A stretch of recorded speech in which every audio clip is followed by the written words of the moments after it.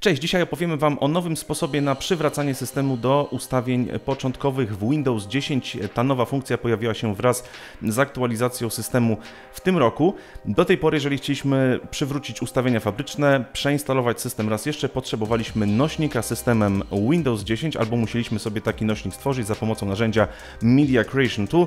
Od tej pory już takich plików nie potrzebujemy, wszystko odbywa się w chmurze.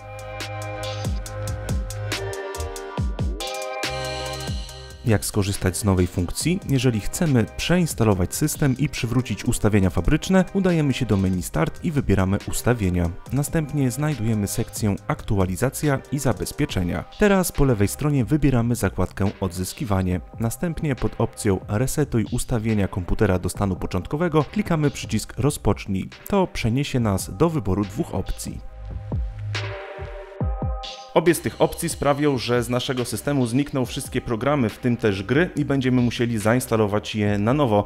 Opcja zachowaj moje pliki spowoduje jednak, że na naszym komputerze zostaną nietknięte wszystkie dokumenty, czyli e, pliki tekstowe, zdjęcia, filmy, muzyka itd. Tak Natomiast usuń wszystko sprawi, że cała pamięć komputera zostanie wymazana.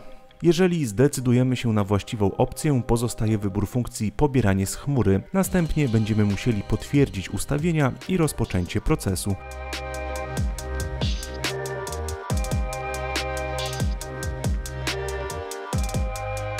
Po wciśnięciu przycisku resetuj mamy jeszcze chwilę czasu na anulowanie. Później już komputer nieodwracalnie zostanie przywrócony do ustawień początkowych i samodzielnie się zrestartuje.